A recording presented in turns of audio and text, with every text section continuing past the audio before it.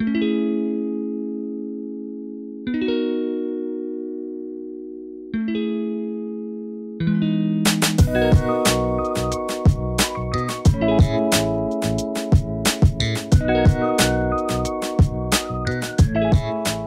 everybody, boys and girls, and neither or everyone in between. It's your boy Dre, and I am here once again, son of a bitch, with the Vin. His curmudgeon in crime. CIC kick. What? We're still, we're still, we're still curmudgeons in crime. I mean, it's the perfect time for it if you get down to it. We've been saying curmudgeons in crime since. um, so uh, anyway, as as the title implies, I don't know why I always say that. We're here finally, at long last, to talk about the Taito Egret 2 Mini. Jesus Christ, it's here. It's been here for a few months. We've been playing pretty feverishly over these few months, and goddamn, goddamn them. God damn, and we're still not sick of it because these games are timeless. Oh, they're uh some of them are. some of them are not. uh, but that's okay. Even that's you know they don't have to be timeless to be amusing, right? Very true. Some of them are timely. Ever since its announcement last June, where we got all excited from uh, Taito's tweet it just here here's the mini console of your dreams everybody. Oh it's coming out next february. You're gonna have to wait. Oh boy. Well we're here. Well we're past that now. But damn it it uh it is delivered. Um just i can we let's start here actually let's talk about the rollout of the information a little bit because they only announced they said there's going to be 50 games but they only showed like 15 at first, I think. That sounds about Maybe? right. Yeah. Yeah, they announced them in batches, right? So like in yeah. the in the in the following months, they announced them I think like ten at a time, and then um. But I remember the initial trailer where they were they were showing off some of the games, and I heard the music to Raimais, but Raimais was not in the list, and I was like, "That's fucking Raimais, guys!" like, and everyone's just coming. looking at me like, "What the hell is Raimais?" And I'm like, "It's Raimais." It's rhyming. you were definitely not shouting to the void on that one because I understood it. I appreciated it. oh man. But like as I'm sorry as I cut you off one of the one of the I think the next wave was they did announce Raimais among other things. I guess we don't really have to list the games, but um Of course. They, yeah. Th- but then they they started tweeting about them. Yeah, they really tweeted about them, right? So, and, and the really interesting part to me is that even the English Taito account was like tweeting like these one per day, right? And like it, they were numbering these games and like the whole the whole bit, right? One through fifty, and it was really interesting to me because like this was for all intents and purposes like a, a Japan only unit, like at the time of announcement, right? So that was like, whoa, like they actually like care enough to do this. It's like crazy, right? Yeah, it's pretty wild. I I didn't expect all that, especially from things that didn't come out here or mm. relatively unknown here. You know, we have the English Twitter tweeting about them, which was pretty wild. So, we don't when we talk about mini consoles, we don't usually get that into the hardware. But this time we're going to, just because I guess both of us think it's really that special.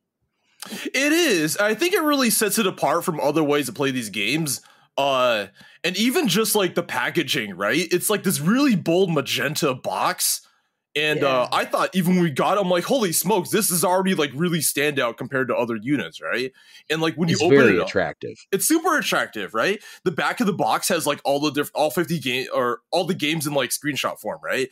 Mm-hmm. And um, even when you open up the, the flap, it, there's there's a character that says thank you and this is apparently the mascot of the whole thing right like the this character is apparently uh, stick on it's a little uh little ch- cutesy uh small super deformed uh, critter and there's it's saying thank you wow how nice right the character's name is stick on uh, i believe so yeah i thought that was just like some funny Japanese portmanteau of like sticker and like some other word. I stick on. Okay, so that's its name. All right, uh, got I, it. I maybe I should have known that before I hit record. but it makes sense. It's like the, the top of their head is a is a joystick, right? So I suppose so. Yeah. Yeah, no, it's a very attractive presentation, and that's what really struck me, besides the fact that, well, let's just get right into it. What really attracted us to this unit was the optional controller, the paddle and trackball controller, Mhm. which I saw and I was like, I'm having this. I don't care how much it is. I don't care how rare they are. I'm getting one. and we both we both did this. Yeah, uh to me this was a really interesting opportunity to revisit some of these older games, right? Because you don't really see paddle controllers particularly often. Uh I mean, there's like really fringe cases like Arkanoid DS, I think it has a little like thing you can stick into the GBA slot. I mean, that barely counts, like, especially in 2022, right? Famously, the NES version of Arkanoid came with a paddle controller. I always wanted this thing. I had like seen it because as a kid, of course I was. I was kind of obsessed with Arkanoid because Mhm. of course every kid is, huh? Right? right, yes, um, yes. no, definitely. that's that's that's just my weird ass. Um, but no, man, I I really was, and I really wanted this at home. I never did get it, but like I knew it had that paddle controller, and I knew that was key to the experience. And like, so I guess with this controller for the Taito Egret 2 Mini, I'm uh getting that childhood I never had. Har har har. Um, but way better Mhm. than that because of the NES one. I looked back at it and researched for the spot and it looks hella ghetto. It looks like a fucking it looks like a um how do I say it? You know, like in the 70s, they have like the light dimmer, you know what I mean? In the, the kitchen, you know what I mean? Like to turn the lights, oh, you could have them dim or really bright or something. but the way, the, the design of it back then, the dimmer, that's what it looks like. It looks like a wall switch light dimmer. Anyway, Ooh, Um, that's rough. it does. Anyway, but like this, this thing for the Taito Egret Mini 2 is incredible. So it has as the name implies, the paddle attachment on the right, the trackball on the left, and two buttons on either side of those on this very and the guys always laugh when I say this, this like nine inch long um very sturdy unit that like you could really put on your lap and play. I think that's what's great about it. It's not it's not something handheld like a controller of which we'll I guess we'll also talk about, but like this thing is it costs a lot. What does this cost? A hundred bucks? Something like that. I think it was a little more, but I forget the exact amount. But uh, Yeah, 110 bucks. It comes with a SD card of 10 games that uses the paddle and trackball controls. mhm. And really you're not paying for the games, obviously. You're paying for this controller which is absolutely worth it. It's worth every penny. I'm sure you feel the same way. I do. You really want something like th- like this to feel sturdy, right? You don't want to like slide on your lap as you're using it, or yes, you could put it on a desk or like a whatever. But I really like the way the knob and and the um the trackball feel. Like they're really smooth. Uh, th- it feels like a sturdy like premium piece of like plastic, right? But Yeah.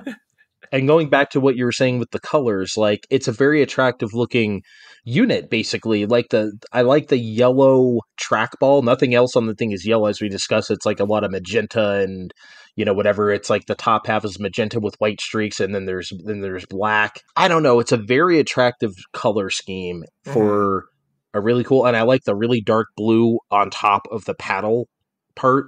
Mhm. it's just great. It's just overall excellent. I like I said, I usually don't talk about hardware like this, but in this case, I have to. It is incredible looking piece of piece of machinery. it's super striking. Yeah, it just feels it looks it, it looks great and it feels great too. Yeah. um, let's talk about the quote unquote regular controller that you can buy for this thing, which for me is a must for anyone who for just in case anyone listening to this doesn't know, the Taito Egret Mini 2 is exactly that. It's literally a miniature arcade machine with a stick and buttons on it. Um, unless you are a child, I don't recommend playing anything that way. So you better buy another controller to attach to this thing so you can uh so you can play it. And that's what we did. That's why we got this controller, your typical D-pad uh six button controller. And what I really like about this controller is that the buttons are all concave. It's one of the most Mhm. underappreciated things about the North American SNES, like the wi- the concave Y and X. I love that. Yeah, People don't talk, about yeah, that shit. Oh, we don't have the colors. Well, fuck the colors. I we have better buttons, and that's how I feel. They do feel nice. They do feel nice. It's true. Yeah, but and this all the buttons on this are concave. Then I think that's pretty rare, isn't it? I can't really think of another example off the top of my head that's like that. I mean, are Genesis buttons slightly uh, concave? sure, sure, slightly, sure. Yeah, I would. But- They're not like this, but no, they are not. But uh, speaking of the Genesis, though, like uh, in some regards, like this D-pad actually has a similar sort of like width and like heft to it. Um, but I almost feel it's like lighter than a Genesis pad. I feel like I prefer this more. Like, uh, what do you think? Yeah, yeah, I think yeah, I've never been a Genesis pad person. Pretty sure everyone knows that. It's not it's not a D-pad I like that much. It's not a controller layout I like that much. This is like I don't know, it's everyone always compares to like the Saturn like Japanese Saturn pad, which I also don't think is like that great. Everyone thinks that's like the shit, and I'm like, eh, everyone talks about it. Everyone. Yeah, I don't. I everyone. Well, they did in the in the 1990s. The 1990X we did. Now, yeah, we're. I'm not going to be walking down the street like, "Hey, man, that Saturn controller." Am I right? Some grandma just looks back at me like, "The fuck?" I'm calling the police. I thought you were gonna tell the the the, the Gen uh, Zers and the, and the Generation Alpha kids like, "Yo, you gotta play on the Saturn pad."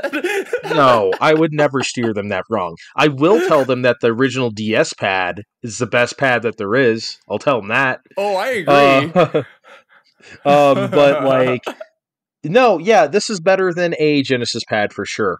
We okay. I guess at this point we should also mention there is actually a standalone arcade stick controller for this, just about the same size as the paddle and trackball thing. It's a nice, hefty little piece of machinery. We did not get that. We figured look, if you really want to use a stick, it's on the unit. In my case, I don't want to use a stick that's on the unit. So, um, you know, whatever. If we want one, it's right there. But that's the only piece of machinery we can't really quote unquote review here because we don't have it. we do not. We have to draw the line somewhere. I mean, like, it just seemed redundant. It was yeah, it was. But yeah, I, I one more thing though, and this is true of the paddle and trackball controller as well. I really appreciate that there are separate like credit, start, and menu buttons, like three Mhm. different buttons. Because think about it, and anyone who has played a mini console out there, how they make you do wild shit to reset the game. Like you better like I think on Genesis Mini you got to hold A and start for like five seconds or so. I mean it's like a long Mhm. time. You do, yeah. I, I think on the Nintendo Fair, I think you have to hit the reset button. You have to like reach over and actually like do it. I don't think there's anything on the controller itself that lets you do that. I don't think. Yeah, yeah, yeah. There's no there's no soft way to do it. No, Um, I think what Turbo, uh, Turbo TurboGrafx 16 Mini, you got to press start and run. yeah, I think- Mhm. Yeah, which is not too bad, but not always convenient. This is better. You have a dedicated menu button. I like it. one So- button, one purpose. And also, like, even when you plug it in, like the the top, the, the marquee, like lights up, right? It's like I was not expecting the actual marquee at the top of the unit to go like, boing. I was not. I was like, what in the world is going on? I, did mean, not expect that at all. Because like we both. Well, no, actually, only I have the. Um, only me. only I have the uh, Sega Astro City Mini, and that does not light up. Wait, really? No. Oh wow, I forgot. How do you? Okay, we already know how I feel. How do you feel about using the actual stick and buttons on the unit? Because you know that's a no go for my large hands. So what do you? Uh, so I gotta be really honest. Like when I'm on work breaks, I'll like actually whip out the unit and like play that way. Cause like my hands are actually as about as are are are are about as big as yours, but like I think I have slightly thinner fingers so they can actually fit, right? So I'll actually play that way in short bursts. Like I, I'll do it for like 10, 15 minutes, but like the, the the buttons and the stick are so close to the screen that you're going to bump up against it, right? Like you, you're you- like it's not exactly the most like comfortable way to play in like the long term, but like I'll, do in short bursts. But I'm assuming you didn't even like do that one. No, I mean, I don't even remember what I tried. Probably tried something I was familiar with, like Legend of Kage or something, and I just. I'm sorry. No way. You're like trying to wrap your fingers. It's, it's, like, hmm, how can I fit my fingers around this unit to like jump and like slash slashes? Stuff? Like actually, you're acting like I'm picking up the unit in my hands and like yeah. trying to like manhandle it. I mean, like, go, go play with like do some puppeteer shenanigans on top of the unit to play. Yeah, yeah, yeah. What am I? Is the puppet master here playing Legend of Kage. I mean, come on. Ooh, Kage's my puppet. what? Oh my god, yes. No Princess Mononoke. What is her name? I don't know. Uh, Princess something is my puppet. I don't know her name. yeah, that's where Studio Ghibli got inspiration for their movies. Exactly. that would be amazing if they got if the Legend of Kage was the inspiration for print. Oh my god, that would be that would be the most incredible story. Uh, yes, it would ever. but there there is there is one benefit that I would have obviously never known about uh, regarding the stick on the unit. Oh, uh, so the stick, so at the bottom, you can actually like flip a little switch, right? So, um, and when you flip the the thing at the bottom, it'll actually lo- uh, rotate the gate on the stick, right? So it'll become like a four way uh gate stick, which basically means you can only move in cardinal directions, like up, left, right, down. So like no diagonal movement, and I wasn't expecting this, right? I actually didn't even know you could do it like when it first like fired this up like day one. So like when I did, I'm like, oh wow, this is actually like this is pretty cool. Like I don't know like how many like uses you like got out of that, but like for like a few games I did, I got something out of it. Pretty much none. I mean, that's not really a concern of mine, and I'm not really using that thing anyway. So whatever. Yeah. I mean, so right. Uh, but yeah. I will I say this: even though even though I didn't use uh, the actual actual quote unquote unit much, the screen is incredible, and uh, I guess we probably should have said this near the beginning, but we're bad hosts. The big thing about this unit in the first place is that you don't have to compromise when it comes to a vertical screen aligned game. You can turn the screen on the unit to be vertical. This is an actual feature of the actual Egret 2. Dude, and crazy. it is retained in this mini unit. That is the big kicker about this. So if you are a person who's you're not going to hook this up to the TV, you're just going to use as a little unit, you're going to be in hog heaven with that. If you want to play Tatsujin, if you want to play any of the uh, uh almost at Strike Force, that's not it. Anyway, but like any vertical ga- any vertical screen game, it, it's super nice, and of course, you can still play these games in a horizontal mode if you want to. It'll just be letterbox, of course, but like, uh, it's cool, man. When I heard you could do this, my mind was blown. I was like, I don't know if another like mini thing that could do this. I mean, that's like crazy talk. It's it's a crazy feature. It's not a fe- It's not a feature I'm going to use very much, obviously, but you know that that is just so cool, and it works, and it doesn't feel cheap or like whatever. It better not feel cheap because this unit is not cheap. But you know, yeah, because. Like, my initial fear was that it would feel like you're breaking the damn thing if you tried to rotate this. Like I was really scared of like breaking them. Like how durable is this rotation going to be? But it actually feels sturdy. As you pop it in, you like press and pop, it, it pops out, and then you just like rotate it. Right? It actually feels like it's sturdy. I'm not gonna like bust the damn thing as you're doing it. So I mean well, that's a plus this, too this overall feels like a more much more sturdy unit than the Astro City Mini personally. Mm. Like, I mean, not that the Astro City Mini is like a piece of shit. It's just that this build quality of this Taito Egret 2 Mini is incredible. So, like, it just goes above and beyond. Better than I ever expected. Yeah, and there's a real sense of attention to detail, which we'll get into, right? I mean, that's the really, really cool part that, like, permeates the whole thing to me.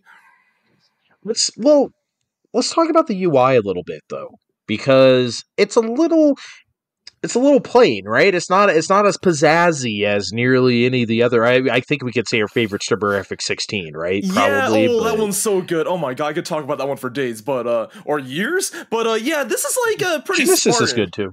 It is, yeah. Uh, this is pretty Spartan in comparison. It's like a black background, the main menu.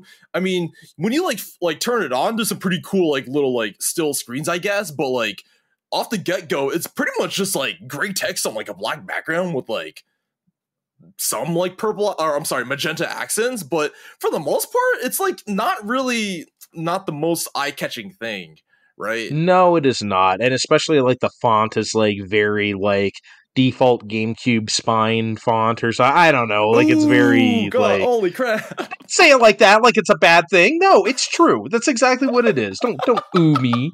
How dare you? But uh, there's a lot. Uh, the cool part about this though is that we both imported this via like Amazon Japan, right? So, but the cool part is that there's actually multi-language support. So, like both of us like threw that onto English like ASAP, right? So it's cool that they did that. That they allow for that. Uh, And you, yeah. I don't know if we want to call it English, but it is. Oh, uh, God. It's something. yeah. Uh, no, let's uh, let's talk about that right. Let's talk about that right now because there's well. some weird.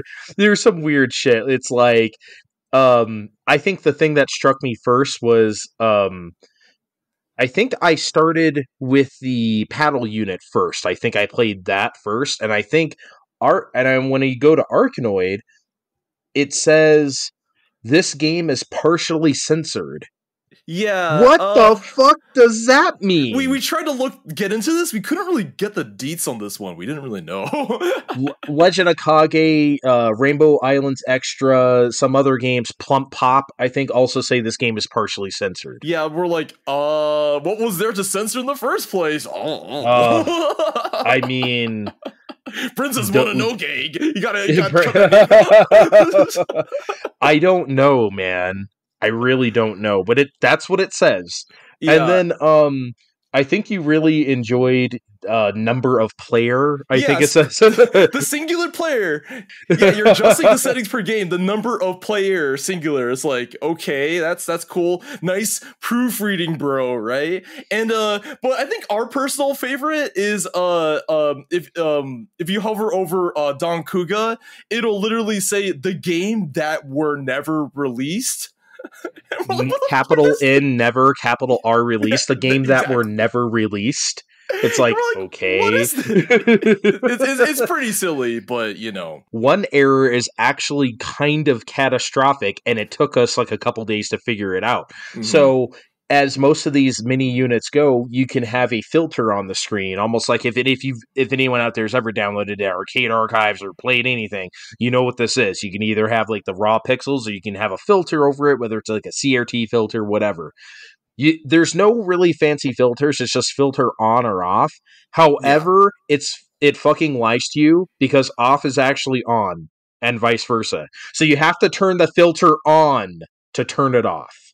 Yeah, it's like it was super super weird because it was like blurry when we were outputting via HDMI, and we're like, yo, it can't possibly like stay this way, right? Like that's like mess. I like I don't want to look at like blurry like shenanigans on my screen. So like I was digging. I didn't really. I would not have called it blurry. You're a lot more. I don't know if sensitive is the right word to that Finicky stuff than I yeah. am, but I Yeah. just I didn't care that much. Yeah, you seem I- to I- though, but I was like, whatever. If we can't turn it off, then fine. Then we realized the unit was lying to us. yeah, I wasn't expecting a reversed uh, filter setting. I mean, uh, may- maybe in when you put it on Japanese, maybe that's not the case. I mean, I would hope that's not the case, but uh, but uh, I mean, it probably is. Honestly, they probably just converted the stuff.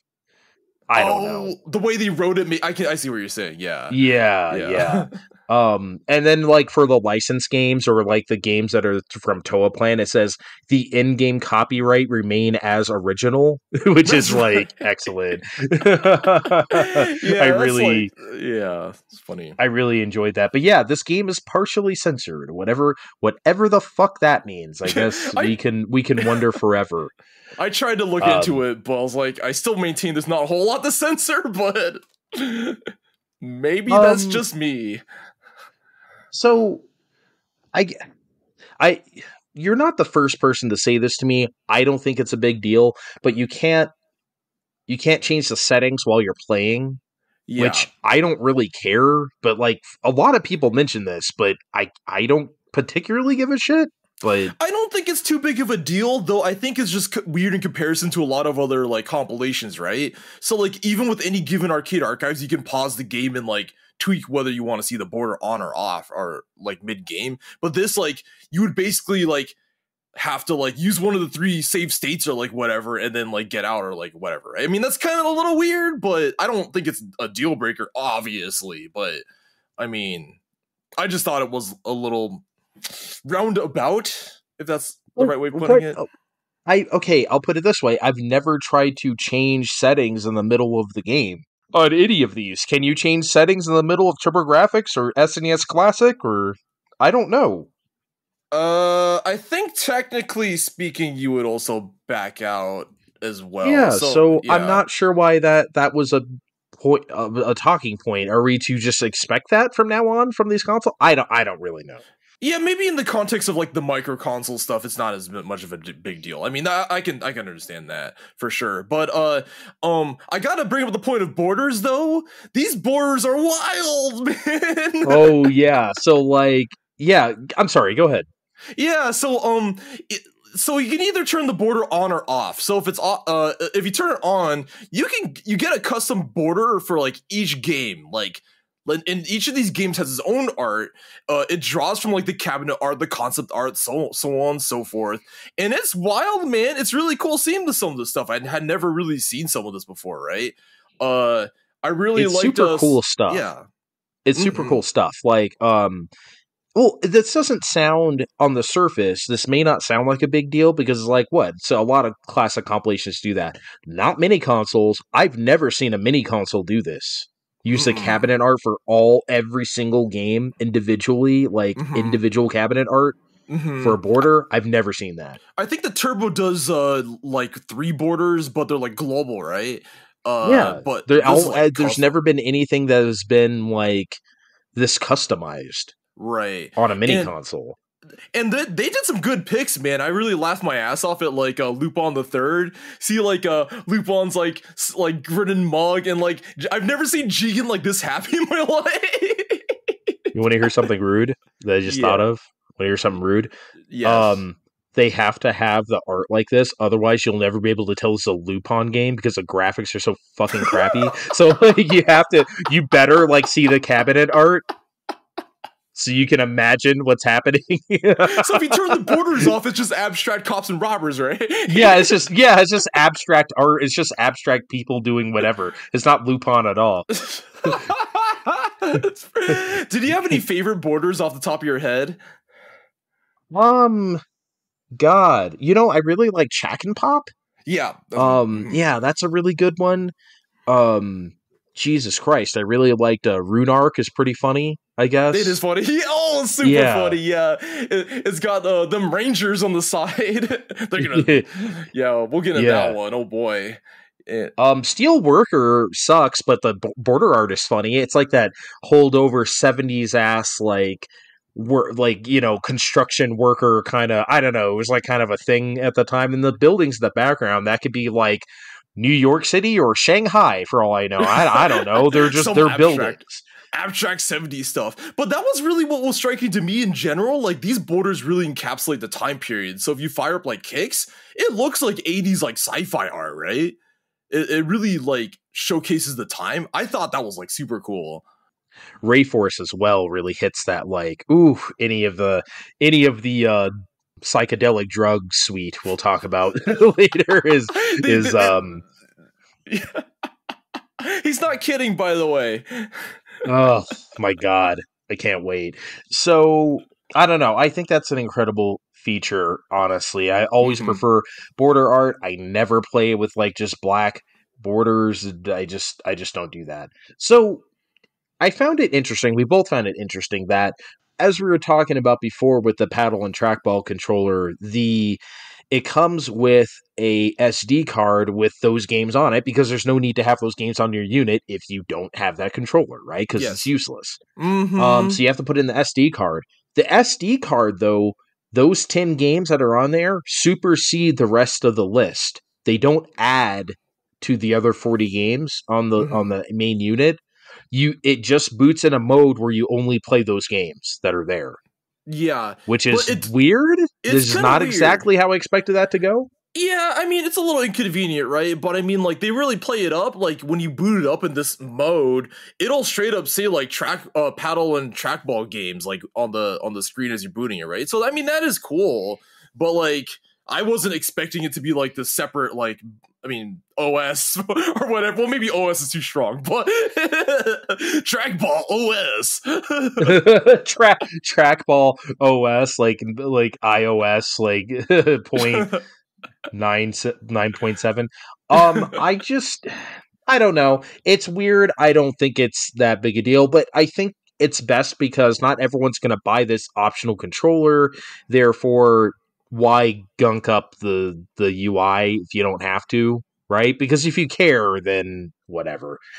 That's the important part, not gunking it in. One thing that I think probably could have been here, and I understand why it's not, but having different regions for different games. Like you could play the US version of God knows what, or European or whatever, of Bubble Bobble or whatever. I kind of wish that stuff was here. You could say, oh, it's a lot of games. They can't really do it. M2 does it all the time. You can change your shit on the Genesis Mini and get whatever version of the game that you want. Yes, you right? can. Box so, art and all. Yeah. So if you wanna, you can do it right? I'm not saying I expected this unit to do it. Don't get me wrong. I'm not. It's not a knock against it, but so in some cases I would have liked that because, especially when it comes to Arkanoid, because goddamn, in Japan they are not fucking around with you at all. Uh, yeah. Ours start ours ease you in with those first couple levels. This game doesn't. Oh yeah. shit! I was in for a rude awakening.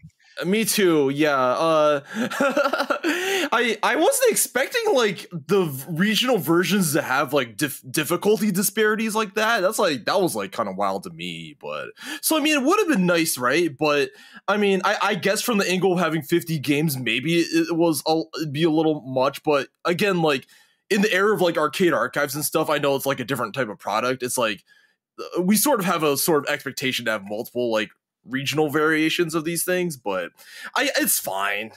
It's like not a big deal. Yeah, it's not a big deal. And again, it's not something I expected, so whatever. It just, you know, would have been nice. Mm-hmm. Um one more thing, I guess, before we get to the actual games.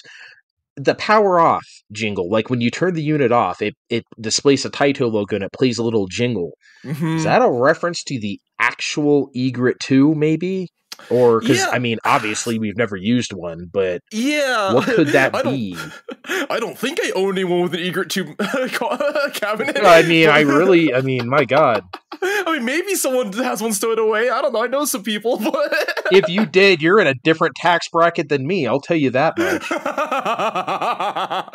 um, it might be. I mean, honestly, I wouldn't be surprised, but uh it might be a reference they just came up with too. It's so hard to say, but so I was dig- doing some digging on my own, and uh, maybe I'm like crazy, but like when I uh, booted up Puzzle Bobble 2X, it seemed to play a sound that's like similar to this. So I don't know if they like like remixed this jingle, but I feel like that's, that's your general. You're talking about the din da da da da Taito with like the chirpy voice, right? You're uh, talking about that.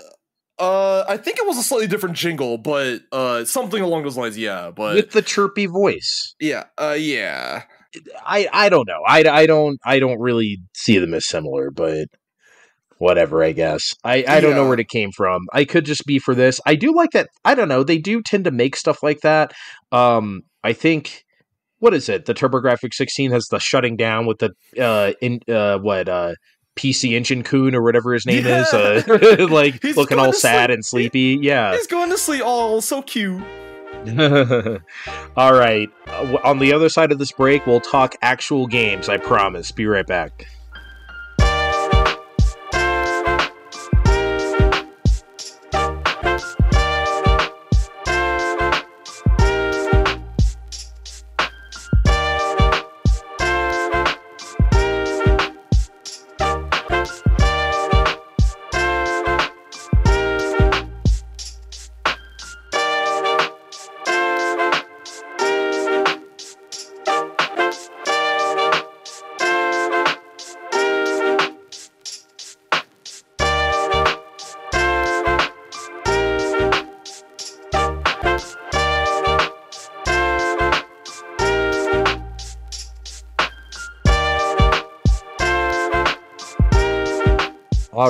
We're back.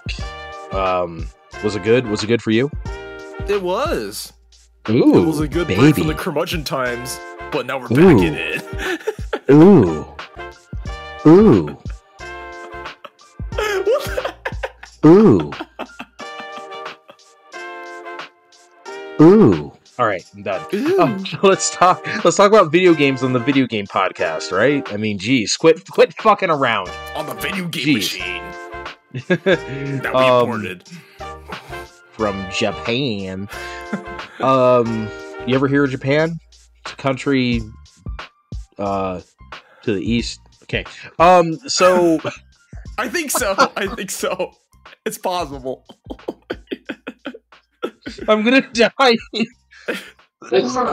okay. He's a fighter. He'll be fine. We're gonna talk video games, I promise. Maybe. I uh I guess Pirate Pete is a video game. Right? Maybe. Oh God. Uh, so uh, okay, I should full disclosure. I've actually played this one before. By the way, we're going to start here. We're not going to go chronologically, but we are going to start talking about the really early shit to to begin with. the really early shit. We're not going to cover every game, but we're going to, you know, just talk about the ones that interested us the most. But- Mhm. So I have actually played this game before on Arcade Archives because it came out a while back.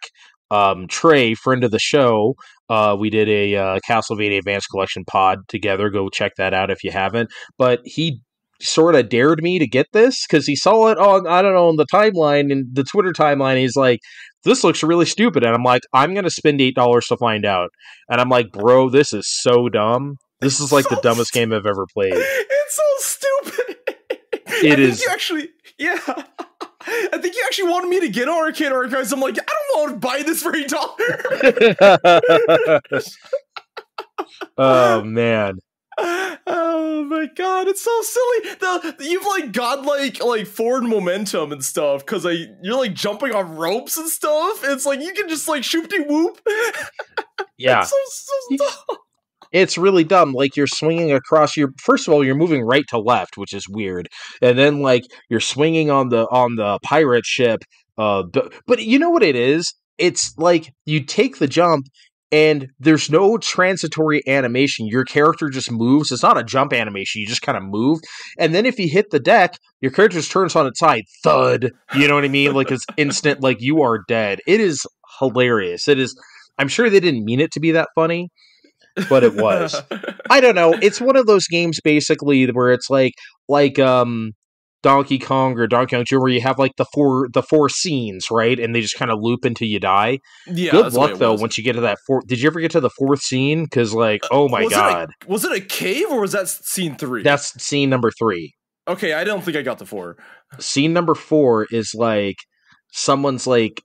It's like out of a cartoon. Someone's like over a cold bubbling cauldron or something, and you have to save them. Oh, from like two like very almost pseudo racist sort of like native jungle people. Oh, Speaking of jungle, actually, this game has a really weird history. It wasn't always called Pirate Pete. It was originally called, I think, Jungle King, and then they they got like threatened by the Tarzan people. So they released it again as like Jungle Hunt, but then they got scared of that too, I guess. And then I guess they finally released it again as Pirate Pete. So that's what's here. But yeah, just uh, I've never seen the Jungle King or Hunt versions in my life. I can imagine the swinging. I mean, that's what you do, right? It's like instead of vines, just do ropes, right? It makes perfect sense. I Sure. think. We could see how it got. Uh, you you seem. I've watched you play this on stream, and you seem to have a lot of trouble stabbing the sharks for some reason. I don't know why. well, In first of all, two. okay. Well, first of all, the action of stabbing sharks with your dinky ass knife is really dumb. It looks really stupid. it's like really dumb. It is dumb. Yeah. And secondly, I think I just got slightly greedy. I tried to like I don't know if I'm like underestimating how far my knife can stab or may- I don't know what it is, but like I, I think I just underestimated my range or something like that. I, I, I It's don't Russian know. attack. It's Russian attack. You got to get like up there. Yeah. You know what I mean? Like you can't just you know. It's not. It's not a long knife. Where if it's a, do we want to call? I guess it's a knife. On a technicality, I guess it's a knife. Pirate Pete is uh is amazing. Um Adventure Canoe is actually one of those games where it's like I don't think this has ever been ported. I've never seen it on Arcade Archives. Like if this has ever been ported before, I I don't know of it. No, I don't. I think this is like one of those games that was almost considered lost. Like we actually tried to look into this before the the Mini came out. We couldn't get any info on this game. So like, I think they probably scrounged like a board from somewhere and probably like maybe dumped it just for the Mini. I mean, I don't know, but like, I I didn't even know like there was like not much footage of this game. So that that was cool for me. Cool little game though. I I, cool. I kind of I I enjoy it. It's like a I don't know. It's like Toobin' but good. It's like it's a really. Uh, I'm sorry, guys. Toobin' sucks. I don't. I don't care. Um, it does. Have you ever had fun playing Toobin'? I mean, come on. Seriously. uh, can't say that I have. Yeah, nobody actually likes Toobin'. It's a good concept. It's not a good game. Anyway. but you want to talk about like borderline racist stuff? Like you're on a freaking canoe, hence the name Adventure Canoe, and you're like going down a river, right? But like it's almost like you're going through like some quasi stereotype of a jungle safari thing with like angry like natives, maybe? Question mark. Oh. I was just like, I It's don't know very- You know what it is? It's like Huh. King Kong 33, right? Like yeah, it's like it's like very like ooh, this is a little uncomfortable now. It's a little uh, you know. yeah, in the year native people who live on an island that you're far away from. I don't know, man. Yeah, I yeah, it, it, it's a it's a timestamp for what it is. Yeah. It's a decent game though. also a timestamp is our friend Lupin the Third. You may have heard of him. I what a what a great. You had to have heard of him. We cosplayed as them uh, ten years ago. Have We we ever told anybody that? I don't think we No, ever mentioned have that on the air. No, we had the whole Yeah. squad. Yeah, the yeah, whole, we had the squad. There was all four yeah. of us. Uh huh. look i'm sure licensing this would isn't like a huge deal like as far as money goes but it is a weird get this must have been really popular in japan or something because Oh, like, surely. Oh, it had to have been. Yeah. Yeah. fun little game though It's cool. Uh, I I wouldn't have expected licensed material, but I'm glad it's here. Uh, it has a really quaint take on the Lupin song. It's like really tinny, but it plays as you're kind of like scuttling about uh, with your uh, abstract cops and robbers. But uh, um, but I mean, as we sort of remarked, like for 1980 to have a game in 1980 have like a background song, that's kind of like uncommon, right? I mean, that was cool. Yeah you don't typically have bgm um i think the first game noted to like always cited to be the first bgm is is rally x or new rally x maybe i don't know if we Uh, want to consider rally x an actual I mean i guess it's a song Oh, oh boy. I mean, I'm not trying to be rude. I mean, but it's just kind of like a, you know, new Rally X. That's a BGM, right? But like Sure, all Rally the- X, eh. the technicality of what constitutes a song. That's what we're going to chat Yeah, about. I mean, no, we're like- talking about video games. We swear. but, but, uh, speaking of the game, uh, Lupin for some reason can press a button and teleport with like M energy. I don't know what the M in this stands for. Like, why is I don't know why Lupin can teleport and like what does the M stand for? I like I never figured that one out. I mean, if you have any ideas, yeah, what the fuck is M energy? I'm I'm with you. I don't M energy, monkey punch Uh, energy. I don't monkey punch energy. I don't. I don't know, man. Well, whatever M energy is, uses like 500 or so of it every time he teleports away. Yeah. But it's it's like asteroids, right? You just kind of teleport to a. Oh, also, you know, like when you put the fucking when you get the money into the part there, and then you teleport somewhere. I often teleport on top of like a dude, yeah. and I just die. And it's like Yeah, okay, I don't think Lupin would be that sloppy. I mean, have you even watched? Like, he's got the dude's got like six anime series, man. He's like crafty. He doesn't get caught. But speaking of getting caught, uh, did you laugh at the game over sequence? I thought that was pretty funny. oh, it is incredible. So like the whole screen turns yellow, and then in in capital letters it says, "You must be Lupin." When you, it is it is hilarious, and then you get carted off to jail. They actually have a sequence where you like go to jail. Yeah. Oh my god. I, I laughed my ass off. I'm like, Lupin would never get caught like that. well, like, well, like, okay, you have three lives, right? So you've already gotten caught at least twice, and then the third time it's like, oh wait, you must be Lupin. he didn't know the first two times. He thought it was someone else. You let him go. You must be Rupan Sansei. the third time he had to be really sure. It's like, oh, yeah, you it's like, oh wait, is that Lupin? I don't know. Like it. Oh yeah, you, you must Yeah. be Lupin. Yeah, yeah. Um, but yeah, as I said before, the cabinet art is doing a lot of heavy lifting here because like those graphics. I mean, they're not bad, but you're not gonna know it's a Lupin game. I mean, get out of here. 1980, everybody. That was more than four decades ago. Jesus Christ, man. Um, so I didn't get around to playing this. I meant to, but I did not. But there was something on the. Is it a paddle game or a trackball game called Marine Date? The trackball. Uh, Trackball. Laughed my ass off. So basically, the premise is that you're an octopus and you're supposed to slide the trackball so that you can like move over and like get to the mermaid or whatever, right? In the corner. You only have so many turns to do this. I think you only have like three shots at it. And if you fuck it up, like if you don't actually hit the destination in those three shots, you just kind of like wither away. It's like the octopus is just kind of like dies, and I'm like, wait, what? It's like so weird. And like there's sharks that can come in randomly, right? And uh this shark can like come in from the right. It'll just like munch on you. I'm like, I don't know why it would be munching on like an octopus, but okay. Yeah, I I, guess mean, that's- do shark do sharks eat octopi? I guess. Uh, I don't think so, but I might be wrong. I didn't I didn't Google this beforehand. well, I, I, as everyone knows, things in the sea scare me to fucking death. So I'm not going to research a shark eating an octopus because I will probably not sleep until 2025. So I will never look at that. yeah, but it was fun though, man, because like you're essentially trying to like um um move the trackball in the way so that you're dodging stuff and hitting your destination. So there's some like finesse involved. I, I mean, I thought that was pretty cool, but it was amusing in a really did way. Yeah, sorry I haven't I haven't played this one. I just forgot. I meant to, but there's just there's just so much on here. That's what that's a good thing about it. You were not distracted by the 49 other games. Yes, yes, at once.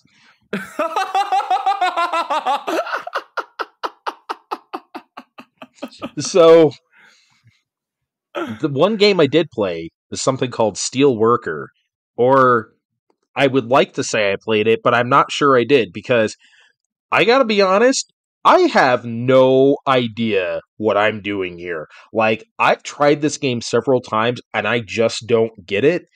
I often can't get my cursor. It seems to be a game where you want to build as the game implies, steel worker, you're you're a construction guy and you're building like stairs and girders or whatever to move the guy along to like a goal. I don't know where the goal is for one. Two, it seems my cursor gets stuck half the time, so it's like I can't select the next thing. yes, it does. Did you figure this out? Because I I don't know what I was doing. And I, I'm not Uh, usually one of those people. It's like where it's like an old game, and I was like, "Oh, I have no idea how to play." I genuinely didn't know how to play. Uh, I mean, like once in every like ten times, I think I got to the destination, but I would often just fall off the edge of my girder, and not not like You why did I got to off? the destination, like of like twice. Like out of like, yo. it's on the other side, but like most of the time, your guy slips off the girders. I'm like, why am I slipping off the girders? I don't know. why I'm slipping off. You actually got that far though. I did. I mean, I had the f- credit feed to do it, but yeah, I did. Somehow. Oh my god! I'm You not I couldn't even understand- figure. I couldn't even figure out how to do it. Like I, I, d- I died like a gazillion times to do it though. So I mean, like, it's just not communicated. Because at Yeah, first, like, yeah, I I don't know what the destination was.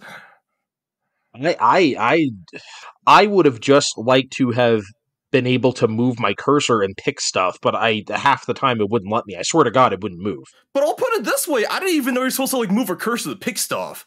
Like for at first, because like they don't really like tell you what's going on. The cursor is really dinky, and like there's just like icons at the bottom. It's like real abstract symbols. So in some way, it's like it's like Lemming's asshole dad in like some way, right? I mean, well, there's like there's arrows, right? Which I surmised, okay, you want to build this way or that way or make a straight one or whatever. But there's like eight out. There's like eight arrows down there for like three directions.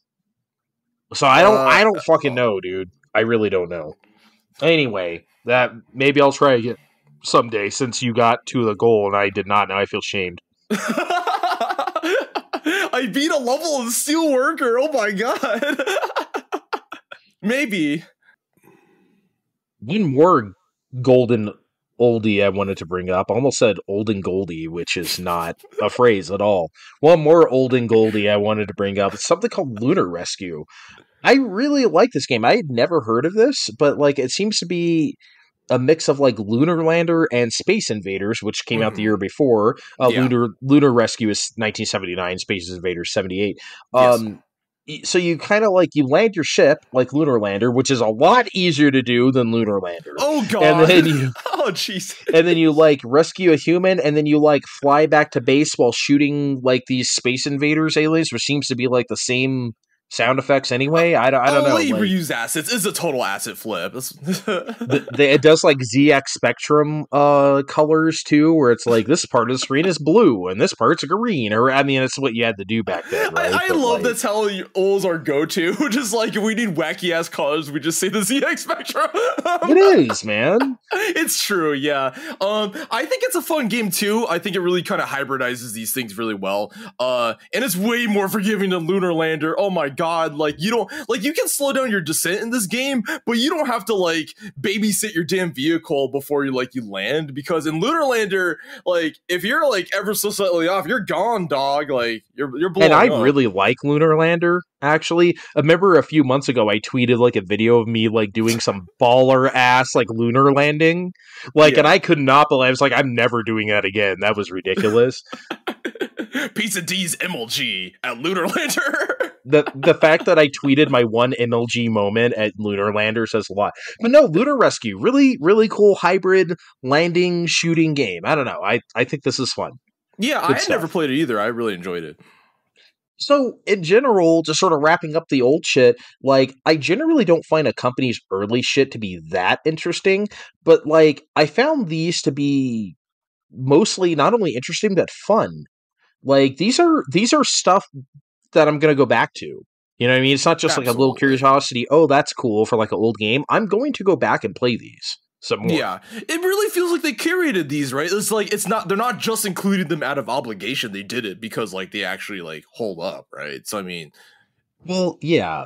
It's funny, right? Because usually these are the kind of games you hear about before a game before a company hits it big, right? But it's like they already hit it big. They had Space Invaders in how do you 78, follow up Space Invaders? Yeah, right? So they had all these other games are like coming after Space Invaders. So, you know, they already had a hit on their hands. They weren't searching for one. Uh Um, but yeah. yeah, that's how you hit the ground running, right? Yeah. Right from seventy eight.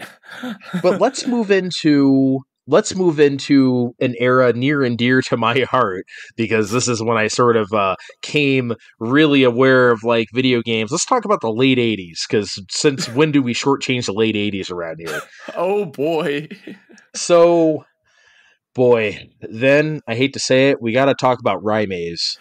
Rhymes, uh, which I believe is how you say it. I'm so just weird. I'm just saying Raimais. If you if it's pronounced another way, I don't know.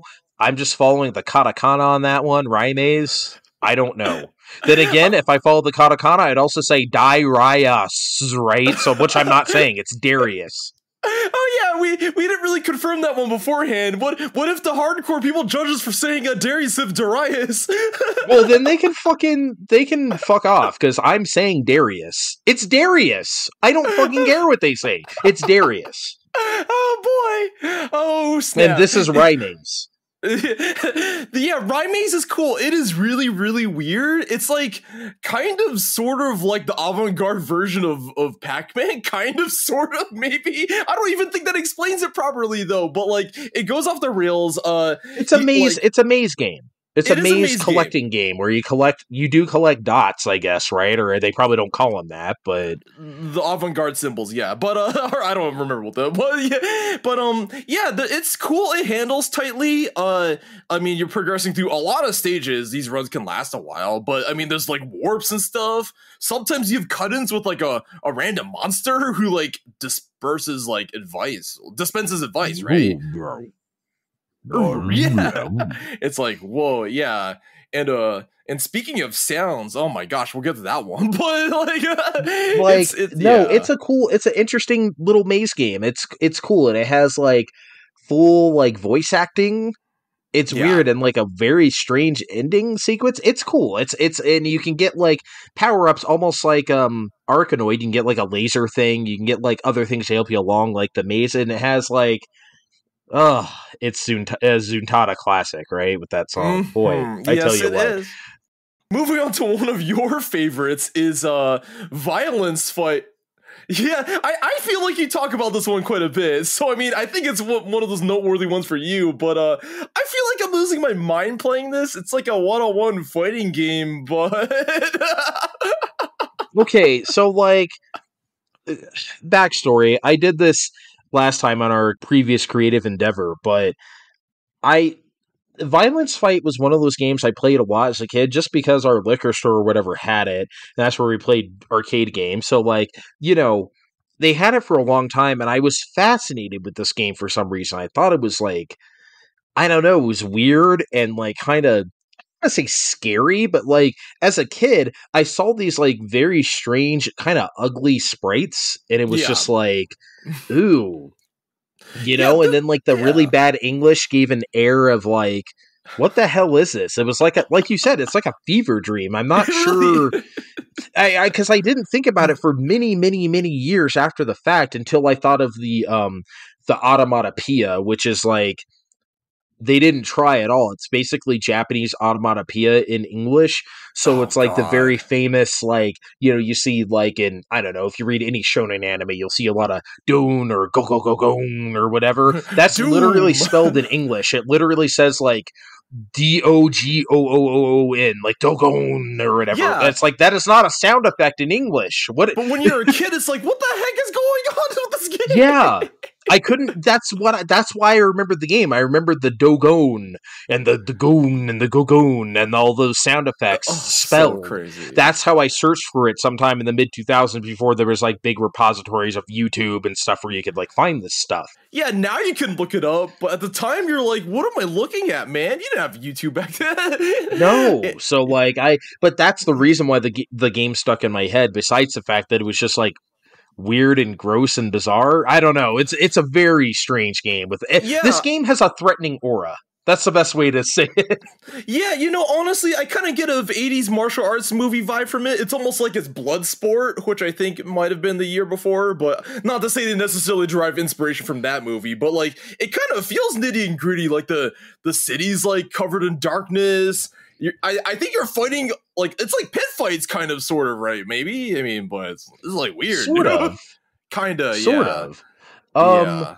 like it yeah it is sort well it is it's like a pre well like you said pit fight like pit fighter the game that would come out in what 90 or 91 this is earlier than that this is this is 88 so like i when i first saw or 89 i'm sorry so when i first saw pit fighter i was like oh this is like that other game i used to play that was used to be in the spot now it's pit fighter uh, And then pit fighter and you stayed at that arcade for a long it was there for like two years they did not get rid of that pit fighter Oh wow. it was it was there for so long. Anyway, I was about to say you lamented the lack of violence fight because uh, pit fighters. Uh... yeah, that's that's the reason. Uh, also, uh, going back to the the bad English, like th- like when you win, it doesn't say like you won. It says it says score a point over. yeah, what the Which- what? What does that What does mean? that mean? It's- just just throw prepositions until it sticks, right? They'll figure it out. Like, like yeah, score play it for you. throw prepositions. Um, the yeah, but like the only thing that kind of made sense was the intro, which like should I read it? Should I read the Yes, intro? Please read Okay, the intro. I- I- should I read? Okay, I'll read the intro. So Here we go. okay this is like one of those try not to laugh challenges or something on on tiktok I'll try Okay. not to laugh. already, busted, already ruined it. i've already done i've already i've already fucked up We Okay. started. We failed the challenge. Okay. oh jesus christ okay in story in the early part of the 1950s in the usa a game called violence fight was in vogue among mafia reckless drivers and general businessmen reckless drivers. The violence fight was the game to struggle for number one quarreler with fighters who were gathered from all parts of the USA, speaking boastingly of their strength. And of course, a lot of the winning money as well as the honor were given to the winner, winners in quotes, quote unquote winner. Here in a downtown of excuse me, here in a downtown in LA, a young fighter Bat and his manager Blinks seek for the winning money eagerly. As a matter of fact, can Bad take the number one place of the USA? I thought his name was Bat. Now his name is Bad. Yeah, the, the, the, the, a few lines below, they like translated differently. Like, what's all that? What what the hell? He, I'm sorry, I wasn't prepared for here in a downtown in LA. Yeah, well, like also, like, why are they like? Are they? Is this stereotyping us? Like, are they stereotyping well, yeah, well, Americans? One, yes. Two, look at the background in the screenshot. That's fucking Staten Island or something. That is Manhattan. I don't know. That's that is not. That is not L.A. Like we're from SoCal. We know we're freaking L.A. What LA looks like. yeah, it doesn't look anything. I don't think there's like skyscrapers like that, dog. um, we, real quick before I forget, there's a uh, bonus round where you fight a fucking tiger. yeah, it's literally a tiger. It's no joke. You literally fight a tiger. You don't beat up a car or something like Street Fighter 2 would a couple years later. No, it's a tiger. I mean, you're trying to kick out a tiger. I actually hit this bonus round after much struggling with like the earlier opponents, and like I felt a little weird about kicking a tiger, but most of my attacks didn't even land and the tiger whooped my ass, and it looked like the tiger was like munching my back afterward. I was like, "Wow, okay, yeah, that's a that's a bonus round that happened." Uh, Maybe it was. do you think it's kind of weird that they messed up the English of this game so much, considering most other Taito games are like generally translated well? Or like... it is weird. It is yeah. really weird, actually. Yeah, I don't because like like you said, Taito games usually have really good English. This this does not. I don't know what happened, but it, it's bad. Someone tried to write bat and bad, and uh, could not make up their mind. No. So one one more from this era I wanted to mention real quick is uh Hat Trick Hero. This is a soccer game. I had never heard of this. Usually, the soccer games I played at the arcade were like si- Super Sidekicks and stuff on Neo yeah, Geo, right? That's what I saw too. That's yeah. that's what I'm familiar with. This is before that. Hat Trick Hero is from 1990. It has a U.S. name that I don't know what it is. Sorry, but in, in on this unit here, it's called Hat Trick Hero. Yeah, it uses all the Japanese um, names. It it's really appealing. I don't usually play soccer games. I really do like arcade soccer games from time to time. It's mm-hmm. not as good as Super Sidekicks, maybe, but like, and that's an unfair comparison. It comes after this, but pretty fast action, good sprite scaling. You yeah, know, like probably using the same like technology as like the shmups, right? But um, I almost thought you were going to say violence fight. no, Jesus Christ. Uh, I never scored a goal though. Like uh, I've done one goal. but I've also they've also never scored a goal on me. Every game I've played has end, ended in a draw, like a scoreless draw. Yeah, it's weird. Like the, I don't think the AI is like overbearingly tough or nothing. It's just like I don't know. It's like I feel the game is balanced well. It's just like it's hard to score somehow. Um but uh it's cool yeah as you said it, it, handles well. Uh but you know there's certain parts of it that really like make me like lol which is the the the portraits like when you when you start the game you choose one of seven countries and then you choose one of these four like schmuckos and i'm like uh, like why do they look so like over the top? I don't they like when you pick one they start laughing. They got like tall some of them have like really long faces. I'm like what the heck is going on yeah, it's it's really strange. It's almost it's not too dissimilar from picking your character in um in Neo Turf Masters, right? Because like Actually, those yeah. six faces are like very like who the hell are these guys? Like this is weird. yeah, it's it's cool though, man. Uh, the one other thing I thought was really really weird though, it seemed like you could punch and jumping knee people. Did you do this? yeah, you could. Yeah, you can hella do this, and I didn't get any penalties or nothing. I just thought it was like okay, something you do every once in a while if the referee isn't looking or something. No, you can you can just do it. Yeah, I'm like, wait, why is this here? I think I, I think I actually punched out the referee like once, maybe. I don't know. Ooh, like, oh, I didn't God. know you could do that. I feel That's like I did because the referee was on, on the ground. He was like knocked out. Whoops. So I'm like, I did I do that? It's like you know, I'm just gonna play the game. That is, uh, never mind. Don't worry about it, dog. Just keep playing soccer. You punch the referee. Just keep, just keep it moving. I was like, I was not expecting that at all. it was pretty yeah, funny. Good good stuff. Yeah, it was. I kind of wanted to mention Kiki Kai Kai real quick, only because it's semi relevant right now because there is a new Pocky and Rocky that is the US name of Kiki Kai Kai, right? Like there's a mm-hmm. didn't that just come out or am I making shit up? Uh so Pocky and Rocky Reshrine just came on Japan. I Reshrined. think uh, yeah, I think we're getting it. I, I believe uh, sometime in June. Uh, I don't know why there's a bit of a delay there, but uh, yeah, this game is pretty striking. Uh, they often refer to it in other Taito games. Uh, for those uh, not unfamiliar with the material, it's it's featuring uh, a shrine maiden, uh, kind of like it's sort of like a overhead running gun. Uh, you're you're taking out like uh, yokai, so like there's all these like ghosts that like fly in your direction or like whatever, right? So it's pretty fun. Uh, it, it is on here, uh, and um, uh, we've done a pretty good amount of it via like arcade archives already, but uh, it was you know it's still always fun to pick up and play, right? I mean, like I don't know how sure you is. Yeah. No, it's a good time. It's yeah. always a good time. Mm-hmm. Yeah, and uh, there are other games that just keep dropping uh um the the characters in, in their uh as random like cameos. Of course, we'll get into that later. But uh, but um yeah, it's cool, man. I I think it's one of those those striking classics uh over the years. I've never played a Pocky and Rocky though proper. I've only ever played this in Arcade Archives, Kiki Kai Kai. I've never played those SNES games and stuff, which I assume what this new remake is like based off of, not this old arcade game. So yeah, like I, I, I don't know anything about those.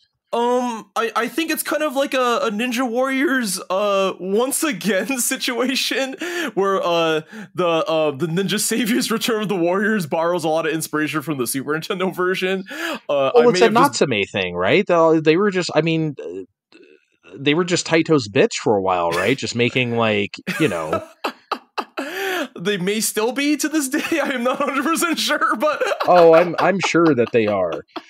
Yeah, but um, but yeah, uh, I I saw Pocky and Rocky extensively Nintendo Power as a kid. I think I may have rented um rented one, but I don't remember a whole lot. But the the art always seemed really vibrant. Uh, in in the magazines. I definitely remember what they looked like. They were a magazine darling because they were they were covered a lot and like I they were they were they, they were. were. all over the place. Like they you know they just. Yeah. Um, so I, I definitely know what they look like. I remember what that uh, Tanuki looks like for sure, right? Oh like yeah, I, the Tanuki, yeah, yeah, like that's burned into my mind from magazines.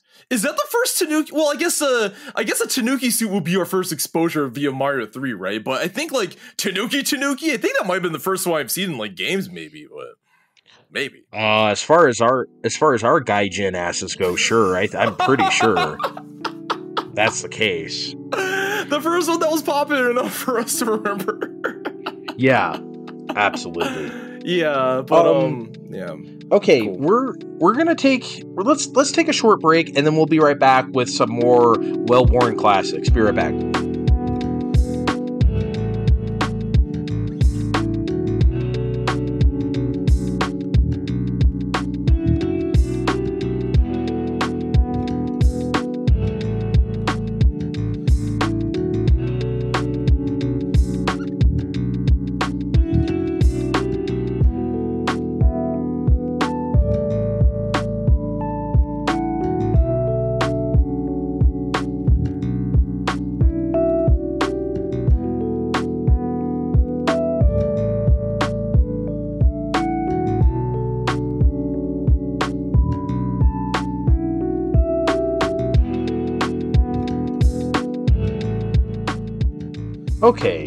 So there's a lot of games on here that we all know like the back of our hand Space Invaders, Bubble Bobble, Legend of Kage, etc.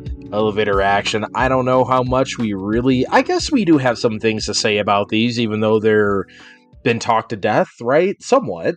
Yeah, yeah. I I didn't really find myself like prioritizing these too much on the mini, uh, given you know there's many other games to play. But uh, I mean, uh, you have to have them though, right?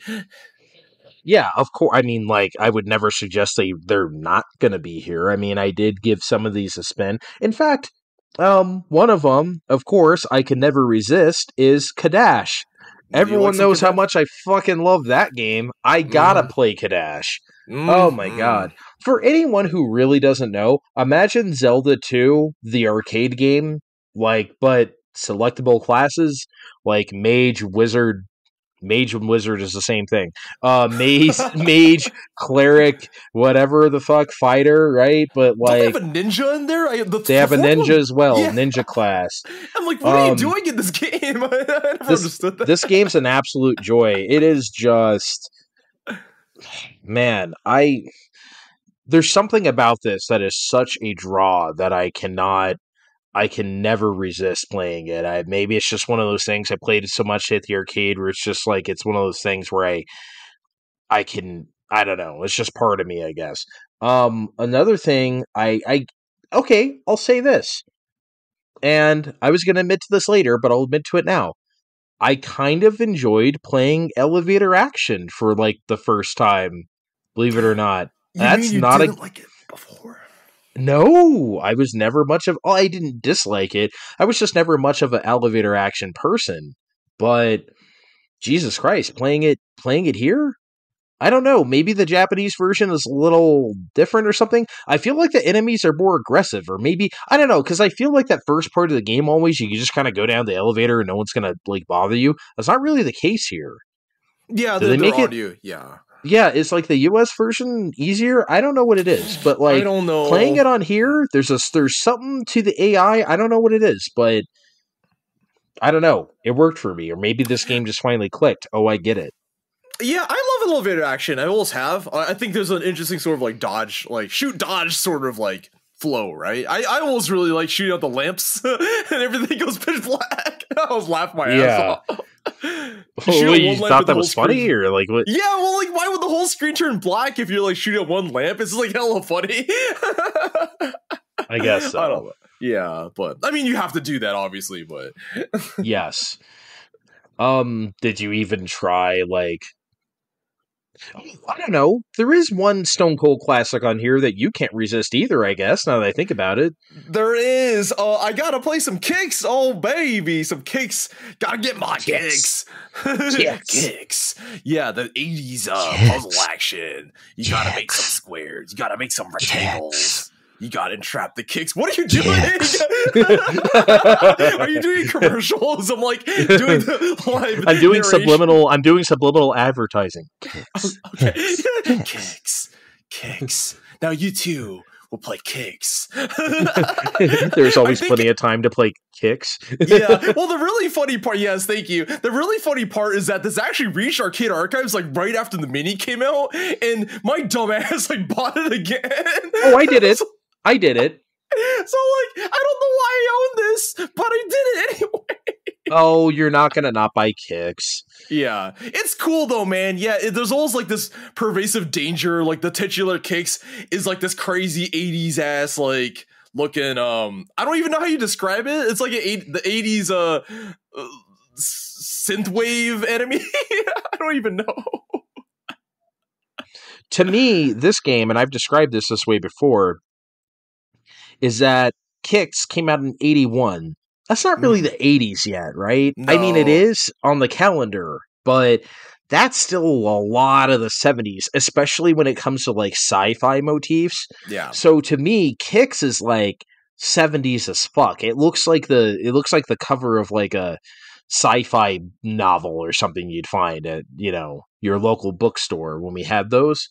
Like it and I find that art really appealing. I really like cusp, decade cusp art in general. Mhm. whether it's 70s to the 80s, 80s into the 90s, what have you, 90s into the 2000s. And Qix nails that. Being 1981 is like the perfect time for that kind of game to have that kind of motif. yes. So it really it's very striking and then the sound design of it is very like these droning synthesizer sounds. It's not music by any means. no, it's no, just very not. warbly like electronic wow you know like it's it's really out there and it gives a feel of just what the fuck is this what is a Qix Yeah, obviously I don't know, but I love it. but uh yeah, it's cool. There's again like you're you're trying to encompass parts of this field, but that Qix is always on you. Like it's you it's like do I move my cursor? Do I or not, right? So it's like it's always like this really crazy sort of like risk and reward that I've always been drawn to. Um and Yeah, you can get punished in a, in a flash, man.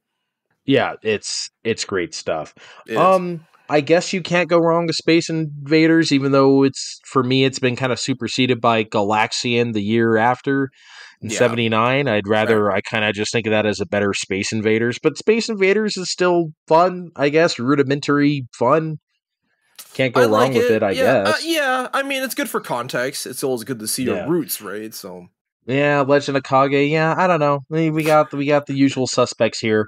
Uh, didn't give them too much play, but the things we're really interested in is when we get to uh compilations like this is games we've always wanted to really play and have not played and finally get to via one of these things and yeah. we have a few of those and no it's fitting we just talked about Qix because we're going to talk about the sequel to Qix Yeah. called Volfied. Yeah, Volfied. Volfied. I believe that's how you pronounce it. Uh, I hadn't actually known this game of this game before we saw it on the minis lineup. I mean, I, I don't know if you had heard of it, but like, it's just I had heard of it um just because of like YouTube watching replay burners and stuff like that. I don't think I knew that it had a sequel.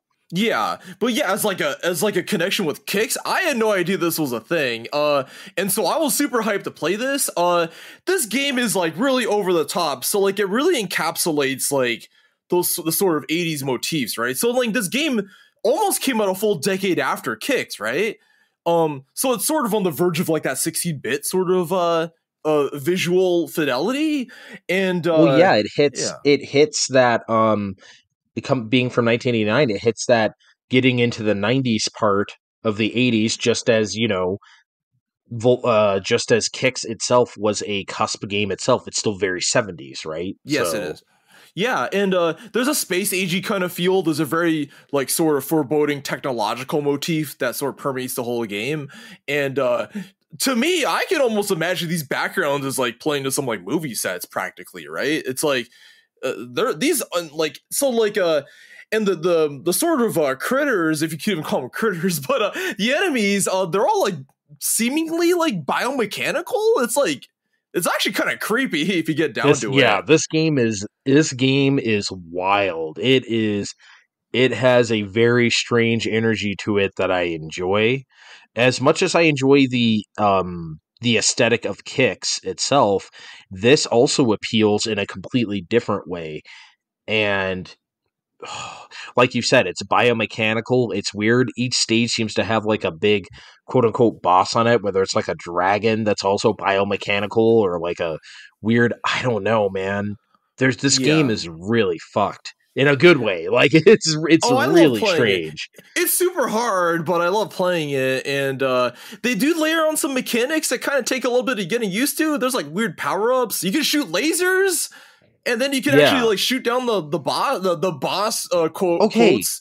But I did that and then I got like 10 million points or something. I got like a crazy score for doing that. and I'm like, I don't think there's that much skill involved. I think I just held a button, but I mean, sure, I guess. I don't think you get the lasers that often though, so maybe that's part of it. But Yeah, but it's like, yeah, if you take advantage and you shoot it, but it's like I didn't think I was doing anything too wild. One one thing, and it's kind of a welcome addition because, like in Qix, you can like for score play, you can either draw a line slow or you can draw a line fast. If you draw it slow, obviously it's much more dangerous to do that, so you get more points. Volfied doesn't have that.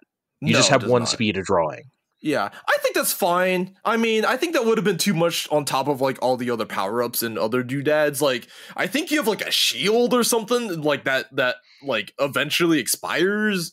It like runs Yeah. out. So I mean, I think it might have been a little too much, but but yeah, th- this game is weird, dude. It's like it's something. It's a sequel, right? but Oh, it's it's it's a sequel. It's a goddamn sequel. yeah. Um so but you had a little bit of trouble, I guess. I remember you were I remember watching you stream this game as well and your controller wasn't quite acting the way it should. Yeah, so uh this is a four-way game, right? So like uh um I don't know if this is indicative of everyone's like D-pad experience, but uh I think like my uh my my my particular D-pad might be like slightly wobbly. So like this game when you press cardinal directions over and over and over again, I think like maybe it like got a little loose and so it's trying to do diagonals instead.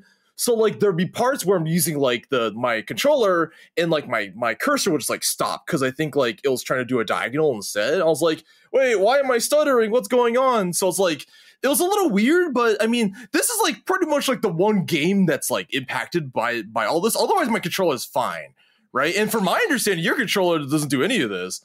No, none of this stuff happened to me at all. That's why I was like, Yeah. I don't I don't know what you're talking Yeah. about. But yeah, I guess I guess it's just you. Yeah, so I just did a bunch of testing. I'm like, well, like, look, if I literally have to like use the freaking stick to play Volfied, that's like not that much of a loss, right? I'll just stick my switch my soccer to four way movement and then just play Volfied, and it even works even if you do like eight way movement. It's, it like works just fine. So I'm like, I never really figured it out, but like that was a little that was jarring at first. But like, look, like if I gotta switch to the to the micro sticks for like one game, that's like fine. Yeah, I guess. But still, it's it's you know. Yeah. It was- but it's okay. But yeah, Volfied. I didn't really think I'd enjoy playing this game, but I really did. I I because I've never been much of a Qix person. I was just like, yeah, it's fine or whatever. But like Mm, really? playing them recently, be between th- this arcade archives, whatever. Like I I've I get it now for sure, whereas I did not before. And. Volfied is a really ridiculously like ridiculously ridiculous take on the same thing. But you got to do that because like what are you going to do with Qix? You can't make Qix too, right? You got to you got to be wild with it. yeah, and to a certain degree, the original game is really wild, right? So it makes sense to jump off the edge. But like Volfied, like it doesn't even have a similar name though. No, but it, when you see it, you know what it is. If you if you if you know, you know, right? yeah. Um. Okay. So I'm not. I can't really speak for you, but for me, the thing I wanted to play the most on here was Elevator Action Returns. Mm-hmm. Believe it or not. So, and I just got done saying I historically have never liked Elevator Action. Elevator Action Returns is a completely different story. Mm-hmm. yo, where do we start with this? So this is a 1994 sequel to the what is the original 83? Uh, So- right, yeah. We're talking 10 years later and we know how much technology leaped in those years, so we're we're talking god, how you know before we get into this, how come they didn't go elevator action again or something? Or uh they didn't feel like it that time. Elevator action once again. Oh my god. It will Yeah. be when we get the S tribute versions on on Switch. Or Um, oh god. Yeah, this game speaking of S tribute, this this game did in fact get a Saturn port that I wasn't aware of. I'm like, of course it got a Saturn exactly. port. So, but for this arcade original, I'm like breathless already of how much I love this game. like it's this so good. This it's is so th- good. this is my absolute favorite game on here. This is astonishing. This Ooh, game that's tall praise. This it's true. This okay i'll just start here. It's truly superlative in that super luxury way that you want from your arcade experiences Mhm. especially at the time. The gulf between the arcade and the 16-bit systems the, the gulf between like the capabilities of them were never greater than in that first half of the 90s. Oh my god. So when you talk about like elevator action returns, it's so fucking primo, especially if you were a console warrior, and that's not a pejorative because so was I. You know what I mean? Even though I Yeah, so preferred was the I. arcade, and we all we all played games at home, obviously. But it's just that like this is something you knew. It's like this is so above and beyond anything I could have at home. And that was the appeal of the arcade, or at least it was for me, because this was the kind of game I would roam the floors of the arcade for, looking for like, oh, what's new, right? At the arcade. Mhm. This is the kind of thing I would have saw and been like, oh my fucking god, this is incredible. The animation, the the the attention to detail, right? Because you take that original concept of elevator action and you build it out into this um 90s action movie motif uh Mhm. americans and they're definitely american right i mean there's Oh, no yeah, yeah, yeah, of course. I mean, let's just assume that's the case. Yeah. yeah um isn't one guy's name like J- Ja- jeff something like jeff with one f like uh, that sounds jad right. jad it's it's a name that J- it might be isn't Ja- like Uh, I I didn't double check the names. That sounds about right, Jad. I think. Yeah. But anyway, but like you have these American characters doing like this this I love I mean that's something I really enjoy anyway. Uh Japanese takes on American motifs. We'll talk Yeah. about that a little later too. But like when it comes to elevator action returns, they just nail when something nails a look and the sound is incredible. Holy Mhm. shit. Yeah. The soundtrack is insane. It's it's. I, I feel like a I feel like I'm at a Backstreet Boys concert in 1999. I'm like a 14 year old girl just like screaming at the stage, and Elevator Action Returns is on. I'm sorry, I'm so breathless right now. It's just like you know, it's like you know what else I can liken it to? It's like watching a big budget OAV in the 90s of like something you like, right? You That's get that level, yeah, you get that step up if so like versus stuff you could watch on TV. So like if Contra 3 is like Samurai Pizza Cats, right? Like Elevator Action Returns is like Oh My Goddess or something. Yeah. It's like it's like this That much is very you can it's like it's it's a budget of not just money but power too. You have the budget to do the animation. You also have the budget and power to do whatever the fuck you want on this screen. And you have seemingly no limits. And yeah. they use it to their fullest. Elevator Action Returns is absolutely incredible. I think you pretty much spoken uh, for me in that case as well. And just adding on to it, it really feels like you're playing like a like a mo- like an action movie, but like in an in arcade game form, right? It's like Yeah. it, there's there's all the spectacle which we both like.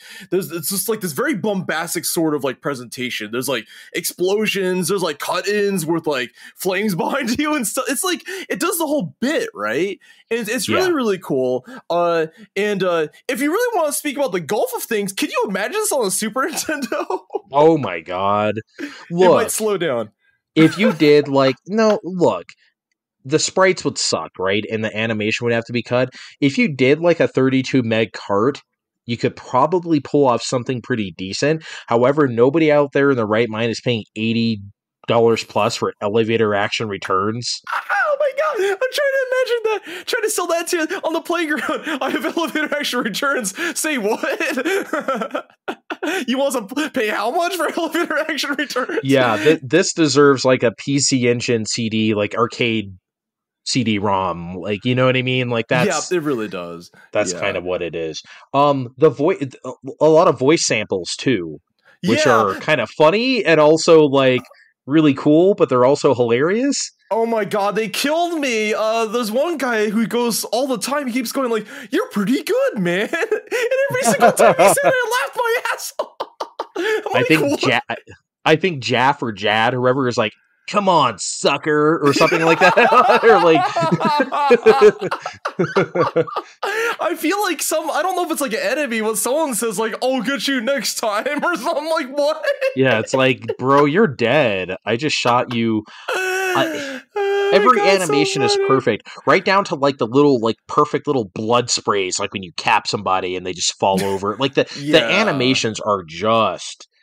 Oh, I can't say this is the best game on here. This is probably one of the best games Taito has ever made, either. Too, so it's just like I can agree with that. it's uh, it's up there. If we want to talk about Yeah. Ray Force or you know weather games too, it's this is top it's top three for me.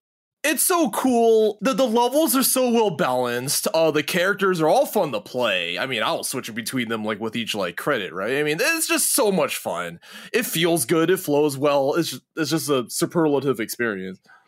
Absolutely. One more that we didn't really get to play before, at least I didn't, is uh Kaiser Knuckle and its sequel that never came out. This is the, the game that were never released, as we spoke about earlier, uh, called uh, Dan-Ku-Ga. I guess it's like a 1.5 version of Kaiser Knuckle, right? So yes. you put a little more time into these than I did, I guess. So why don't you uh Yeah, I'll, I'll, I'll go on about them. Um, I think they they're pretty standard fare so far as fighting games go. Uh, the characters are fun. Um, I mean, like, uh, uh, they're not quite as like tightly made as like any of Capcom's like games or whatnot. But then again, like that's kind of an unfair comparison, right? But uh, I, I really like these characters. They're really over the top and cartoony.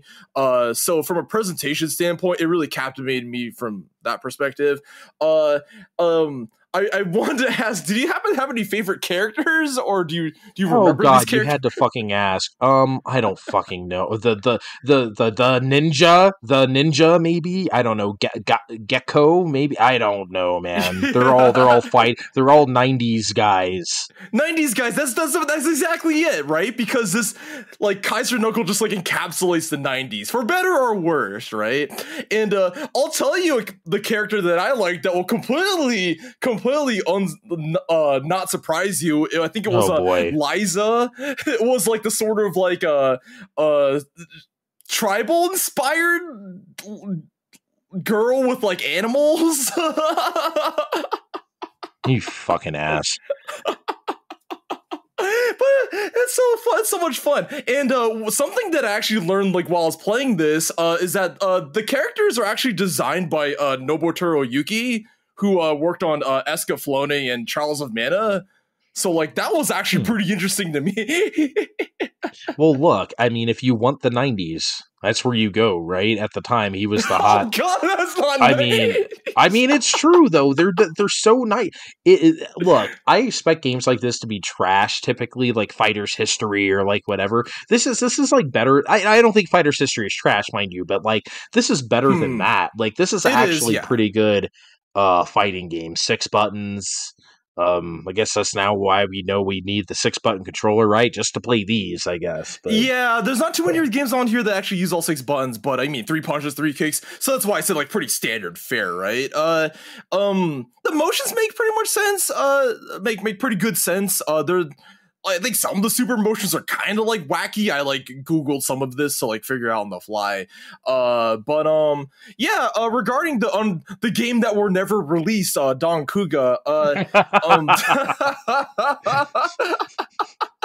um I feel like it's kind of going from like Street Fighter 2 the World Warrior to just like Champion Edition. I think that's kind of like the the jump. It's like not that much of a jump. It was like different Yeah, like I played it briefly last night, Yeah. and I didn't really get too much different from it personally. Yeah. It's cool that it's here. Don't get me Yeah. wrong, but Um, it's got like uh, some boss characters playable, so I'm messing around with that a little bit. Uh, but for all intents and purposes, uh, it's it's pretty similar to Kaiser Knuckle. It does kind of beg the questions of why it wasn't released originally, but then again, uh, 1995 was flooded with fighting games. That was the time to like play that genre. So uh, maybe Oh, that's yeah. why. Oops, Ah, all yeah. fighting games. But uh, yeah. um, look, I mean, but that's like the perfect time to fucking do that though, because like, look, you can't you can't have this at any other time. If this came out like in '97 or something, they'd be like, "Fuck this! I'm not playing." You know what I mean? That would have been the wrong time too. So you could say it was flooded, but this couldn't have come out at any other time.